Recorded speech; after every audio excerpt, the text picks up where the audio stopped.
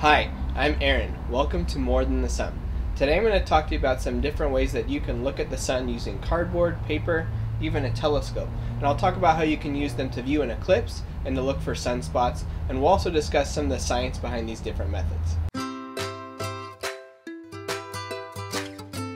If you're lucky enough to be at the right place at the right time when there's a total eclipse, you can look directly at the sun as long as the moon is completely blocking out all the sunlight. But if the sunlight isn't being blocked out all the way, then it's never safe to look directly at the sun. It will literally burn your eyes. You can safely view the sun if you have special lenses or welding goggles that are rated for the sun. You can even purchase a special solar filter to put on the end of your telescope. If you attempt any of these methods, please make sure you do your research and you're certain that you have lenses that are rated for viewing the sun. The simplest way to look at the sun is actually an image projected through a pinhole. All you have to do is take a card or a piece of cardboard, something like that, and punch a hole in it with a thumbtack, hold it up to the sunlight, and look for the light that you see in its shadow. That light you see is an actual projection of the sun through the card that you're holding. It's like the difference between looking at a projector screen versus a projector bulb. You can't really see anything when you look at the projector bulb because there's so much light but you can see the image once you look at the screen it's projecting onto. To get a slightly better image, you can instead punch a hole in a box after masking any gaps on the sides. This provides for a clearer image because the box blocks out any excess light. The reason we can see the image of the sun in the shadow of the card or on the back of the box is because the pinhole is only allowing through light that focuses at a single point. The key to seeing an image is having light that shares a focal point, which is the place where all the light traveling converges. The sun emits a lot of light, going in every direction. We can imagine that each individual beam or ray of light is a photon traveling in a straight line from its source to its destination. Photons that left the sun over 8 minutes ago are now converging at the pinhole and projecting an image of the sun in its shadow only a tiny fraction of the photons emitted by the sun actually travel through the opening you created.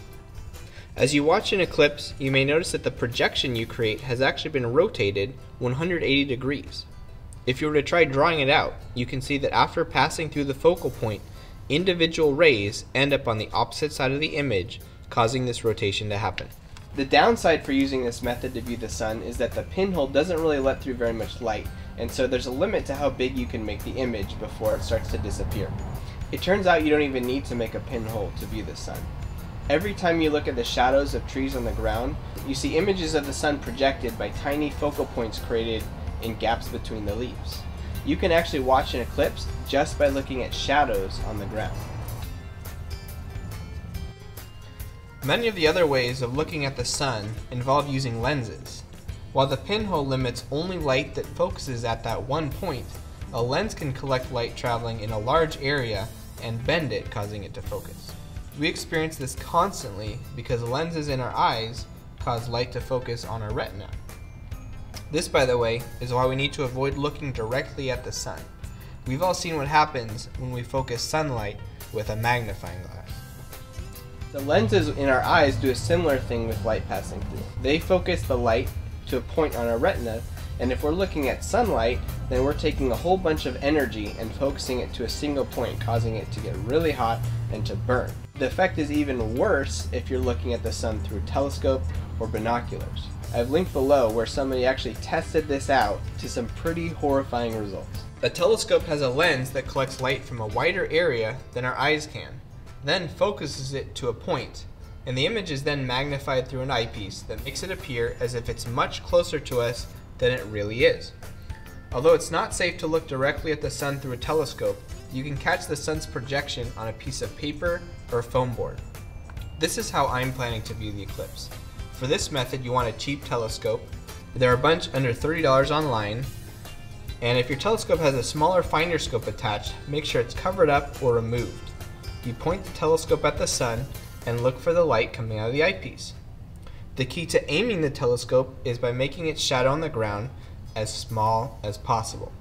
Then you can adjust the focus of the telescope to make the image of the sun clearer. You can see the image better if you get something to provide some extra shade. And you can get a pretty large image of the sun this way. This is because a telescope provides much more light than a pinhole does. The image is big and clear enough that you can even see sunspots on the surface of the sun.